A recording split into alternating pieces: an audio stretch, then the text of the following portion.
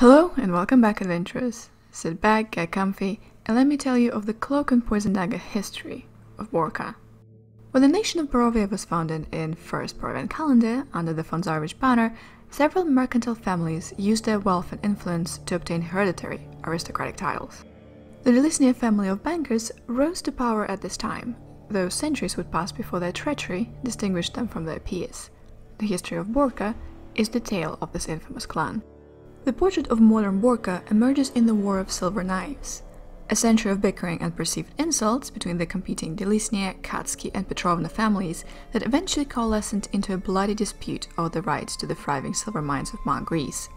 Count Barov von Zarovich commanded an end to the strife in 316 Barovian calendar, soothing the feuding families by granting them new lands. The conflict left Barovia ill-prepared to face the Turk onslaught that soon came, and the Dilisnya family was left bitter and resentful over their perceived lack of support. In 347 BC, Strahd drove out to the last of the Turks and claimed the Balinoks for himself. Barovia prospered as the rest of the nation struggled to rebuild. Leo Dilisnya, a man with a wealth of ambition and a lack of compassion, set forth on a murderous plot to ensure that von Zaroviches never regained their dominance. In the summer of 351 Barovian calendar, the aristocratic families of Barovia left their estates to converge on Castle Ravenloft for the wedding of Count Strahd's youngest brother Sergei. Included in Leo Dilisnya's entourage were a score of disguised assassins concealing poison-tipped crossbows. Leo's killers came to the wedding intending to wipe out Strahd's kin and all of the Dilisnya's rival to the last, cementing his own family's power. The resulting massacre that turned Strahd von Zarovich into a vampire is the stuff of legend. Mists swept across the land, cutting off Barovia from the rest of the world and engulfed the country in a haze that would not lift for centuries. A mere handful of guests escaped Castle Ravenloft, fleeting in terror with tales of butchery and rampaging monsters. Leo himself feigned illness and excused himself from the festivities before the ambush began, but he left all his relatives behind, unwitting sacrifices to cover his tracks. The few surviving Dilisnyas fled from the wrath of Strahd, Leo coordinated the diaspora of his kin, helping them establish new identities in remote mountain villages. The Dilisnya's eccentric reputation arose from the generations of seclusion that followed. Family records indicate that false names and secrecy resulted in occasional, unintentional inbreeding, but madness did not dull the Dilisnya's keen minds or ruthless natures, and they slowly rebuilt a small measure of their former fortunes. Once safely beyond Barovia's borders, they re-established their true identities and connections. One such son was Lev Dilisnya, born 300 years after his infamous ancestor Leo. Today, Lev is significant primarily for two of his six progeny, a son Yakov, born in 641, and a daughter, Camille, born in 662 BC. At the age of 25, Yakov suffered a seizure while out riding. Feverish and raving when found, upon regaining his wits, he insisted that he was the chosen messenger of a goddess named Ezra. Yakov wrote what is today called the first book of Ezra from his sickbed, then spent years unsuccessfully trying to attract worshippers to his private cult. Camille, on the other hand, was lovely and cultured, but jealous and prone to bouts of rage. In 681 Barovian calendar, she married Siegfried Grimig, a minor Barovian boyar. Three years later, she caught him in an affair and murdered Dalaus with a gruesome poison of her own design. Camille's parents shipped her off to a distant kin in Invidia to evade the Mordentish authorities. Her coach lost its way in the thick fog and emerged from the mists in an unfamiliar land, which locals called Borca.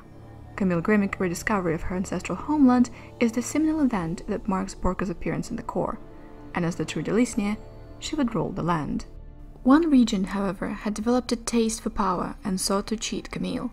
She discovered the banker's plan and sent a basket of ripe fruit to his home. The delectable gift contained a slow, lethal poison, taking the lives of the traitorous banker and his entire family. Duly warned, the remaining regents handed over their deeds.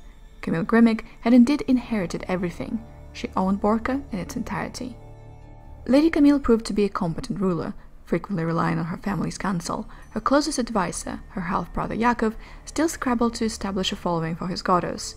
He proposed the Church of Ezra as a tool to control the hearts of the masses, but cunningly manipulated Camille to sponsor the resurgence of Ezra's faith. Due to her lethal temper, Camille was never popular among the members of her court. Forced to fend off numerous minor coups and infidelities during her reign, she particularly resented Yakov's growing popularity, eventually seeing his divine delusion as a challenge to her power. She married and disposed of her husbands three times, her final marriage to Olaf Fortish, who tried and failed to kill her first.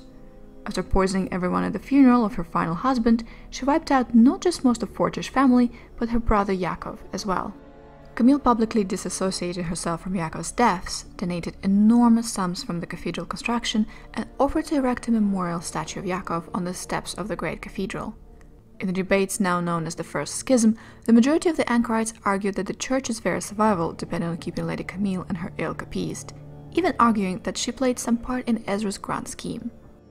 The minority faction, led by Sentai Felix Wachter of Steuben, insisted that erecting a monument to Praetorus Yakov, a mortal man, was a complete blasphemy. In a momentous decision, Wachter's faction broke from the home faith and retreated to safer shores in Mordent, the rift between Ezra's first two sects would take decades to heal. Any additional Borcan thoughts of revolt was stifled by Falkovnia's massive, if futile, invasion of Darkon two years later, marking the beginning of the Dead Man's campaign.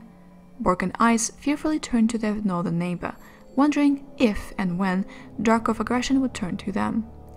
Borca had not seen battle since the Turks, but the landowners now raced to repair town battlements. Drakov sent a small force in Borca in the fall of 706, presumably expecting little resistance. A single soldier managed to stumble back to Falkovnia, his flesh bloated with toxins. Ivana Boritsi, Camille's eldest child and heir, was considered a lovely girl, but starry-eyed and starved for affection. Her family advisors expected her to be easily manipulated once she rose to power. Ivana's dreamy demeanor changed starkly in 706, following the death of her paramour. Ivana threw herself into Camille's lessons in herbalism, alchemy, and poisoncraft. Five years later, it is widely believed Ivana used those skills to take her mother's life. If any of Borca's new nobles feared for their safety under Camille's heir, they had only to look to Lady Ivana's distant cousin, Ivan Dilisnya, to know that their lot could have been much worse. Ivan and Ivana were both born under the same new moon in 689 BC. Many folks still consider them soulmates, calling them the Dark Twins. Ivan was unlikely to inherit anything of significance, but many courtiers mused that he was heir to Camille's madness. Even as a child, he was surrounded by suspicious deaths. When Ivan murdered his older sister Christina and her husband in 709 BC, his own family pursued him into the foggy night. As dawn burned the mists away the next morning, a new realm has reshaped the core. Somehow, Ivan's presence revealed more of ancient Borca, this time the land surrounding historic Mount Greece. Ivan claimed the deeds for the entire demesne, which he then renamed Dorvinia, after a distant ancestor. Ivan ruled as he saw fit, demanding punitive bribes and actively turning his courtiers against each other for his own petty amusement.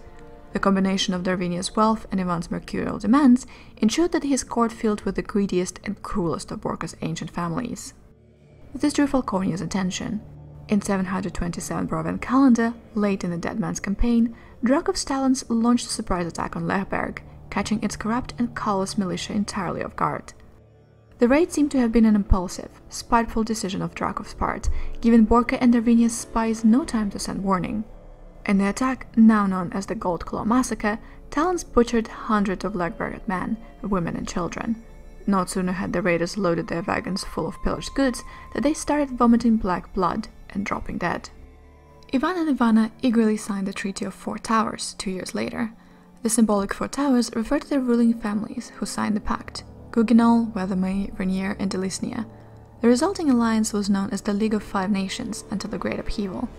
When the tremors of the Great Upheaval of 740 BC ended, the cousins decided to merge their realms peacefully under the Borcan banner. The years following the merger have not been kind to Borca. The bonds between the long separated cousins quickly spoiled. They appear to have liked the idea of each other more than the reality. Borcan politics have now degraded into gamesmanship and corruption as the two branches of the Dilisnya lineage struggle for supremacy. Thank you so much for your time, patient listeners. Borcan history is a great example of why you need to stop the evil when it first starts. It might be too late if you wait. So if you want to help, be careful while crossing the mists.